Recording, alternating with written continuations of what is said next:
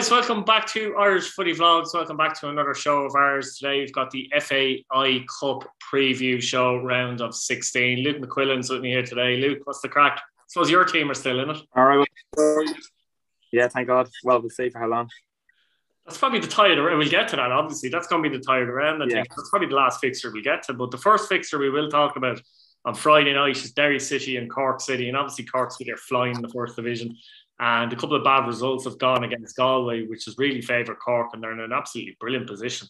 Uh, it is a free hit for them here, I think. Derry City are a side that I would say have aspirations to maybe lift the trophy actually um, at the end of the season. But um, yeah, I mean, anything can happen on a day, and this is one of these fixtures where a lot of people might say this could be a difficult one for Derry, particularly with Derry generally better away from home this season. So you'd imagine Cork will go and sit in. I still think Kerry or Kerry, do you mean? I still think Derry. There's a big maybe next season Kerry will be in this. There's a big gap between Derry City and Cork City, um, in reality. But on the day, and we've seen results with first division teams. Obviously, Waterford beat Pat Sligo beating on the Wexford actually as well, and actually Cork themselves winning three two in Sligo last year as well. Um, it's one that Derry can't take lightly, Luke. I would say. No, it's not. Um, it's going to be a tough one, I think, for Derry. I think, you know, Cork are obviously top of the first division, with seven points clear at the minute. So, you know, they're in a really good position in the league. And look, they want to. There's going to be no pressure on them in the cup because obviously their main focus is going to be getting back into the Premier Division this season. So, I think for themselves, like it is a chance for them to be because I think there is pressure on Derry to be honest to win the cup. Maybe you know what I mean because the thing is with Derry, like the squad is just so good, and you know they're con- constantly adding to their squad and putting money into their squad. So you'd expect Derry to be there thereabouts in the cup. So if they could, if they were to lose here, it'd be a big shock, like you know, um, because Cork are. But that's the thing as well. Cork going it with no pressure on them. So I think uh, could go either way. This could be one that could go either way. I think. But I would fancy Derry just to see off the, the quality. Would would just have enough quality to see off Cork. But you know, these are the sort of games Cork will be playing in. If they, you know, these are the sort of teams that they're most likely going to be playing against next season. So um, it's something for them to get used to again. You know what I mean? Because they've had the what last two or two seasons in the in the first division. So you know that look, it's it's, it's going to be a big one for them. So um, it's it's it's an interesting game. It's a very interesting game. It's a it's a good trip, good trip for Cork as well to take. You know what I mean? It's a it's not close for them, but um, I'm sure they'll travel in decent numbers like they have all season. So um, you know, it has it's set to be a good tie this one. Yeah, yeah. I think from Derry's point of view, one of the things with Derry, I think, actually, is the fact that you're still not too sure what their actual best 11 is. You know what I mean? You don't No. necessarily play your best 11 every week. you don't necessarily get a chance to do that every week. But still, if I was to sit down and probably write in paper, I'd probably struggle with some of the positions for Derry. I'm not too sure. I know the boy's back soon as well. I think he's been on the bench actually, so he might be back. Maybe they'll play him in this game. Mm. So he's he's been a big miss for them as well. But uh, I still think at times in the attacking areas where they've a lot of good names, um, it's not just fully clicking for them. They're doing well in the league, but if you want to get further with them, it's not fully clicking with them yet, though. No, I agree with that. Like I think, I think as well. It's it's you know the it, it's it, it they haven't had as you said the best starting eleven. You know the different injuries and all, the likes of Duffy and all. You know what I mean. So, um, McGonigle's like been hot and cold. You know what I mean. Akintunde's the same. You know what I mean. I think Akintunde is a good player. And he's, he has improved as the weeks gone on, but I still think you know you don't really know what you're getting from him. You know the type of way. Um, so it's, it's an Kavanagh's a bit interesting. like that as well, I think, isn't he? Brandon Kavanagh is a little Yeah. bit like that as well. Yeah, they've a lot of that, but you know, I think with the injuries of Michael Duffy and McEleney at the start of the season and all, it didn't it didn't really help them. You know what I mean?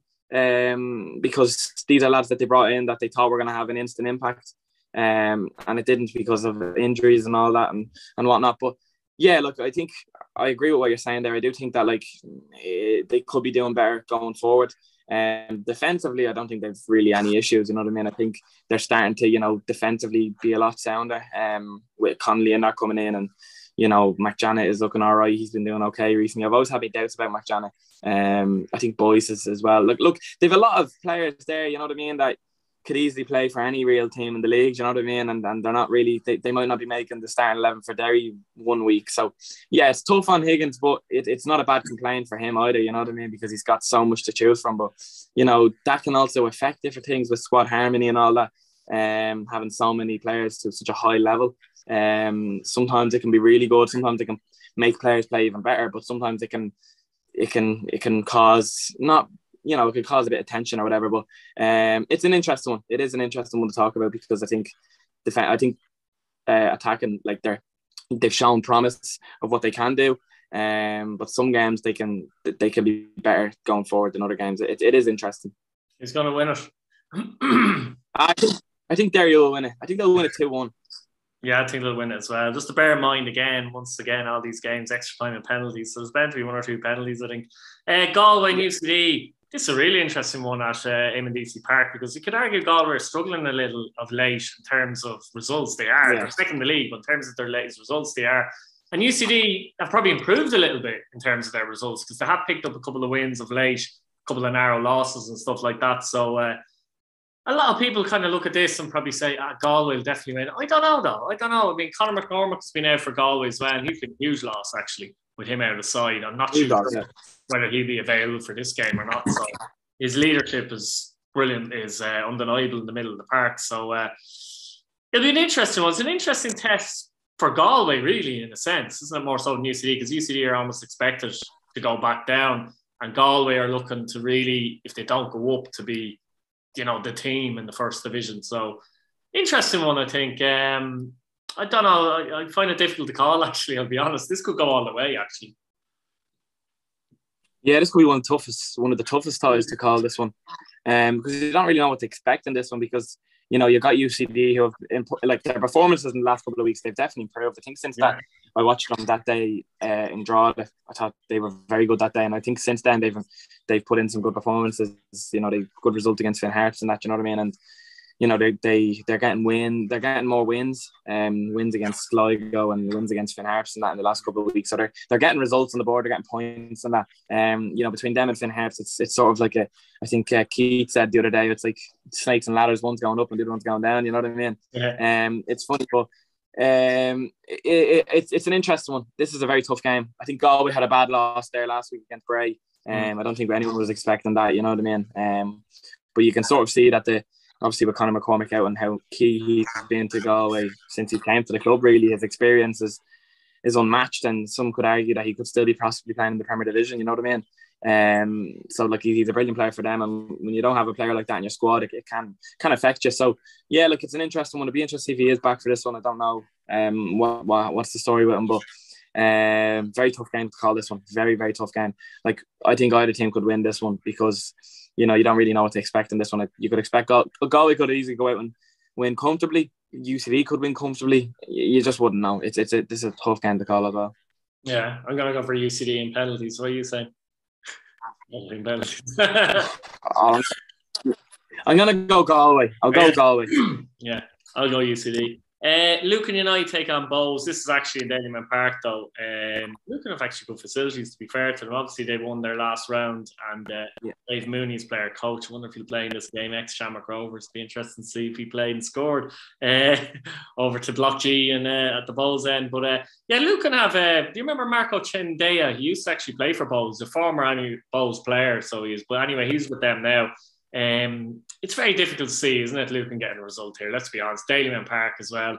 Um, no matter how Bohs haven't been playing very well or whatever, there's a massive gap between non-league clubs and and league clubs, really. So, put it this way: I think if Bohs somehow went out of this, I think Keith Long might be looking at his job job being gone the next morning. You know, I know that sounds extreme, but based on what's been happening there and that, but I do think a Lucan result is extreme.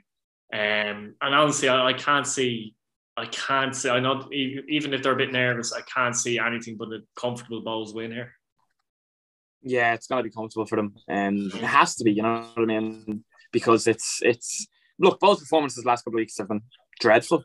Mm. To be honest, like they've they've just not not been too um not been up to the standards that they probably want. Like they had that we obviously mentioned the little the squad new squad bounce that they got, and then once it sort of they, they sort of fell off a little bit. Um, and then obviously like last week against Shels, I'd be disappointed if they didn't win that game, like we spoke of.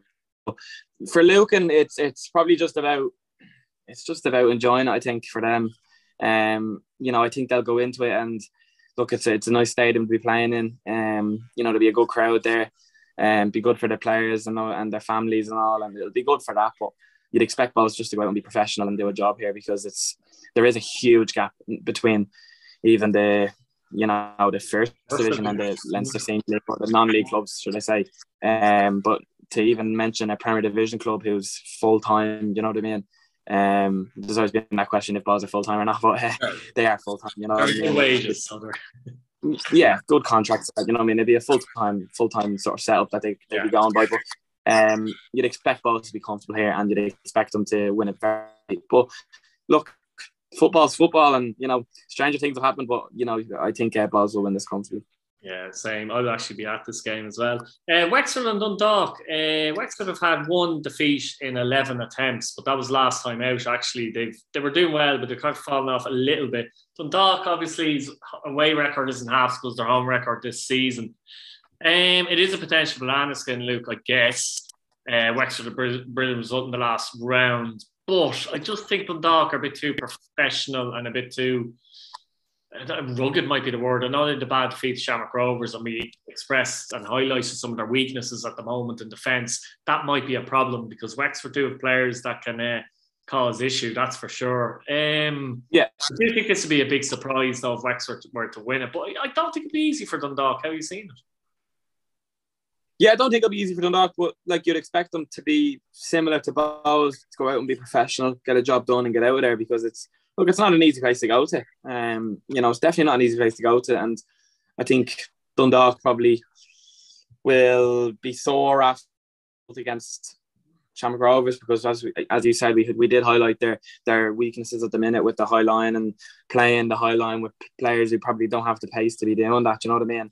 Especially without Andy Boyle and that there. You know what I mean? Even with Andy Boyle, I still don't think they'd have they should be playing that high line because I don't I don't think he has the I don't think he's a fast player. Look, he's one of the best defenders in the league. But hmm. at the same time, I don't think he's got the pace to be playing that high line. Look, he'll be back in the fold now this week, so um, they'll be delighted to have him back. Um, especially like there's a few tough league games and that coming up. So look, they want to go far in the cup. I don't think I think the season they've had is excellent, but if they won the cup or, or to a final of the cup semi final, I think it's good. That it just adds to the season that probably Dundalk have had. Um, but Stevie will be looking at winning it, um, and they've got the squad to win it. Um, so look, it's it's it is going to be a banana skin. This one they've got to get through it. Um, so I see a Dundalk win, but I don't think it's going to be very comfortable. Um, I think Wexford will cause them problems, but you know you'd expect Dundalk here to just just to see out this game. Yeah, I think the same. 2 1 Dundalk. Uh, Bonagee United take on Shelbourne. And actually, they're actually home in this game, Luke, which is fantastic for Bonagee. New Arch Park, I believe, is the name of the ground they play at. And uh, it's interesting with Bonagee because there's a lot of former Finn Harps players like Tony McNamee, Connor Black, Michael Doherty, and Gareth Harkin. So there's a bit of experience there. Yeah. They did beat Pike 6 0 in the last round as well. So you're kind of looking at them thinking to yourself, you know what I mean? Uh, mustn't be that bad. But there's a lot of experience there, as I mentioned before. And Shelbourne go up here to a ground where, you know, mightn't be in the best condition. I'm not saying it is, but it mightn't be in the best condition. It's up in Donegal, as we all know as well, and they'd be unfamiliar to this ground. And I think yeah. it help Bonagee, but at the same time, once again, the quality and fitness levels Shelbourne have as well. I know Luke Byrne will be out with a hamstring, and O'Driscoll's clearly going to be out after that head injury. So they might have a few things in defence, but I'm trying to paint, paint a picture that Bonagee might be able to do well in this game. As I said, they have a lot of former Finn Harps players, so they do know players that know the league quite well.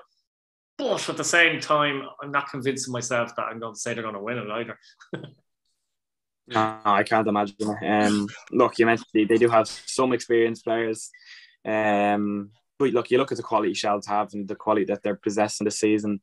Um, I think they've improved as the season's gone on, as we've said numerous times. And look, I know they've probably had two bad results. Well, not bad results. I think Bohs was a decent result. Yeah. They'll be they'll be happy with the result they got against Bohs. Oh yeah. Um, but obviously the loss against Drop for um would have been a poor result for them. But look, they're they're, they're in a position now in the league where you, you're you're expecting them to stay up now.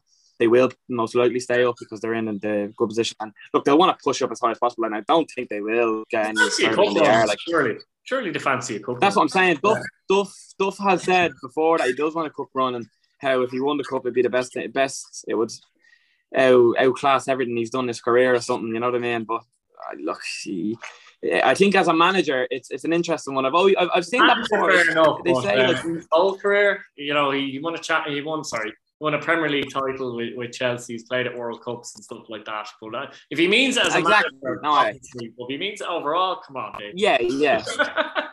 but I think I I think as well. I, I it's not that's not the first time I've ever heard a manager say that. I think it might have been was a Steven Gerrard or something said it when he won the league with Rangers. He said it's the best achievement he's had in his career because it's it was something like that because it's when you're a manager, it's a lot different than being a player. yeah, I know. but look, look, it's uh, I've gone off. I've gone off a bit off topic here, but what I'm trying to say is I think that Shels will be looking at a cup run. Um, they've had they've sort of the two ties they've got have probably been favourable ties. Um, you know they're avoiding the Premier Division Premier Division clubs um at the minute. So look, you'd expect them to go through here comfortably enough. Um, and then see where they are then uh, into the was a quarter final then if they go through. Yeah. So yeah. then again, you, you, go through there. You're you're two games. You win this game and this weekend, and you're two games away from a cup final. Do you know what I mean? So um, huge game, huge game for them. So uh, look, it's um it's an interesting one. So uh, look, they'll want to just, just they'll just want to go through this one and, and see where it takes them, and you know after that then see where they are. But um yeah, I, I do expect Chelsea to win this game. Yeah, I think comfortable enough, three 0 or something. Uh, on Saturday yeah. there on Friday, Malahide take on Waterford, and I suppose Waterford after beating Pats deserved a fair, favourable draw. You'd argue uh, with such a good win. Could you imagine got Pats in there, Shamrock Rovers or something? Be like, come on, wouldn't it? But there you go. They're in Malahide, and it is being played at Malahide as well. Uh, which again, it, it's a little help because these teams are not used to playing at these grounds. So I do think every little helps in that sense. But Waterford, obviously with the news of a new ownership, uh, Andy Pilley, by the way, that's how you pronounce it in case anyone's watching. I found out uh, yesterday.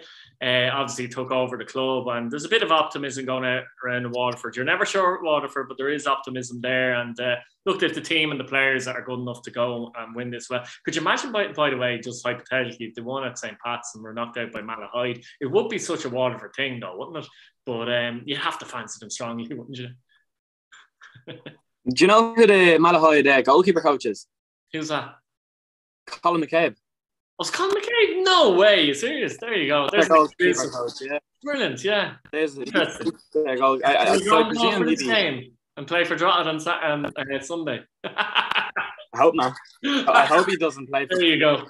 We would we need we, we need him 100 percent on uh, Sunday, so we do. Um, but look, it's uh, which is brilliant because it, he's obviously done. I think he's doing his coaching badges as well. Um, at the minute, so this is a good experience for him to be in with Malahide, and you know they're playing against Waterford and that. So um, it's brilliant. You know what I mean? And obviously, I, I hope he's not playing enough for them on on on Saturday. Yeah, well, yeah. Uh, you, you, would have thought, though, enough, he might have a little bit of information on Waterford as well. You'd like to think he knows. Yeah, exactly. But he, he's experienced around the League of Ireland as well, so I think that's that, that's good for for Malahide. You know what I mean? And, and, plus, he's a brilliant lad, like you know what I mean. And um, he's got good football and knowledge as well, so he's he's brilliant to have in there for Malahide. But on this game, you know, you can't really see by Waterford, can you? Though, like, look, I know you mentioned the the place where Malahide play, and to be honest with you, state of the art facilities, Gannon Park is it's unbelievable.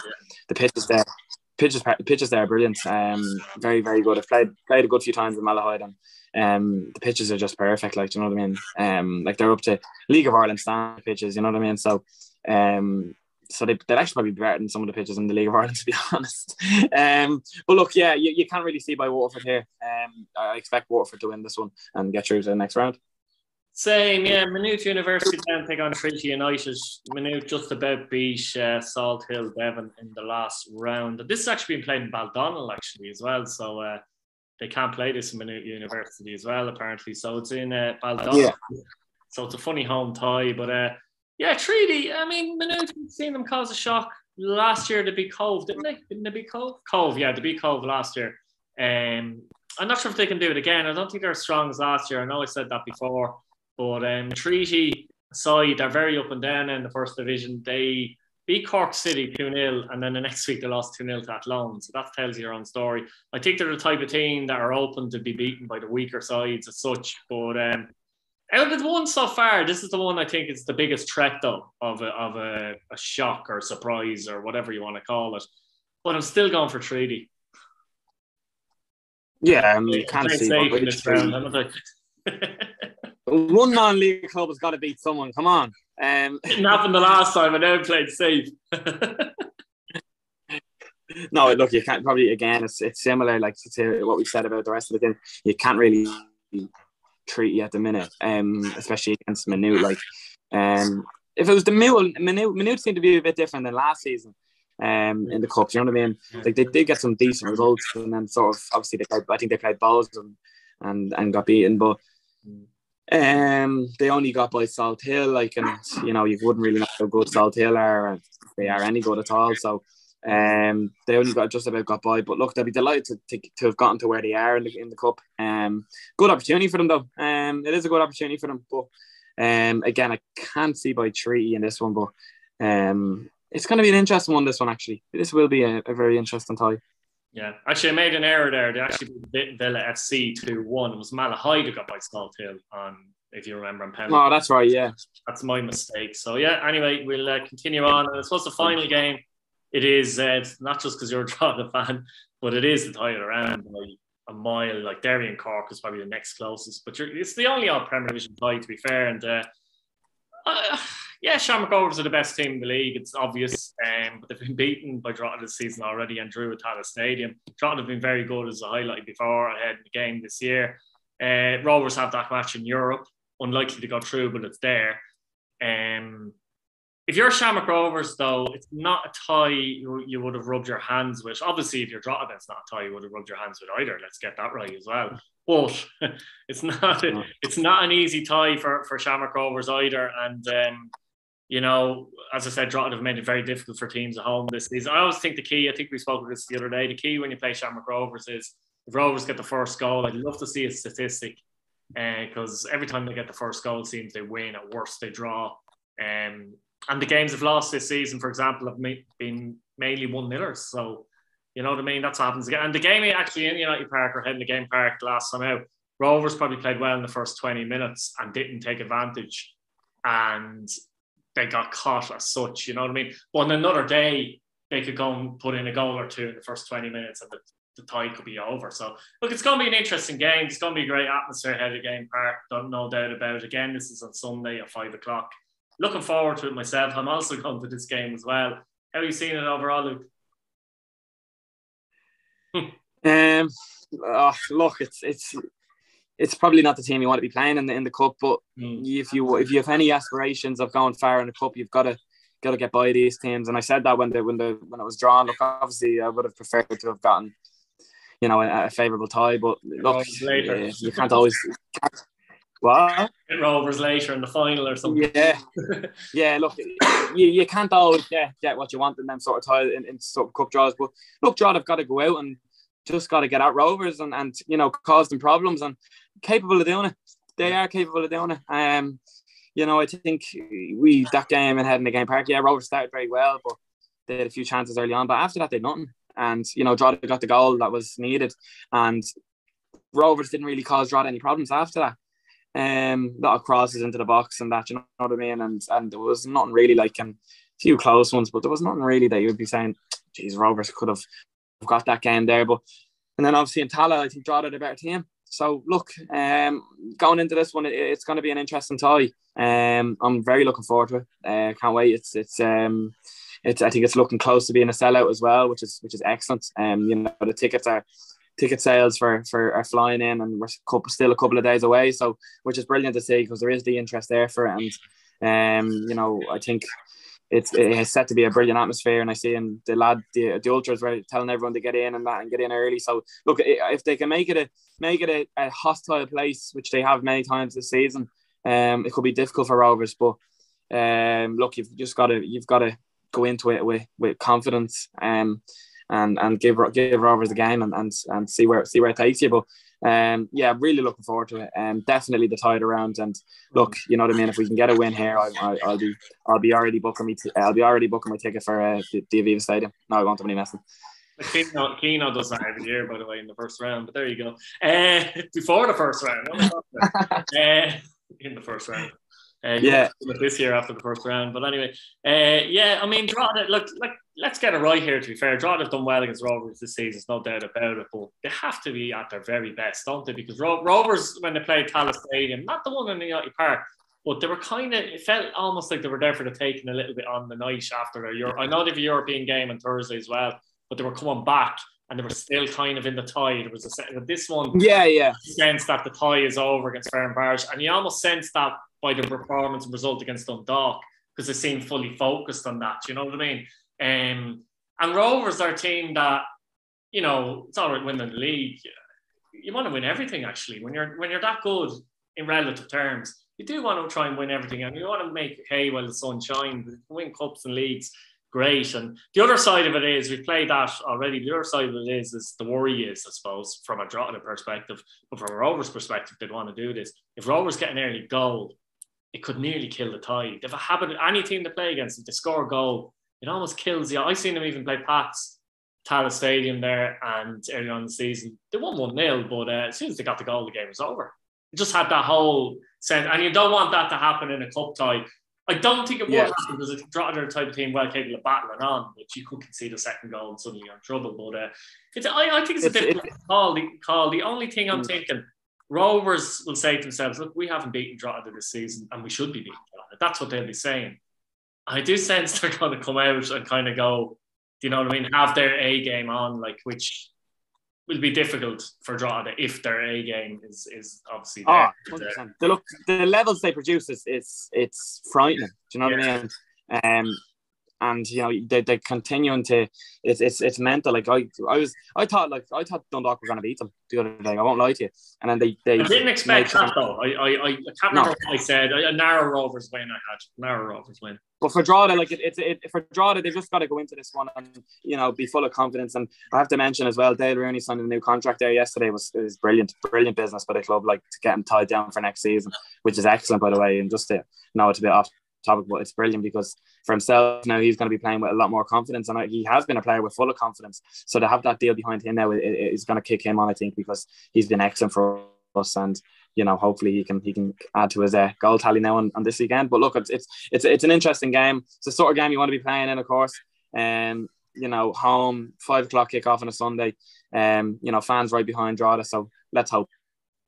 Yeah, I know you hate doing this, but what are you going to go for? I, I I'll go Rovers uh, after extra time.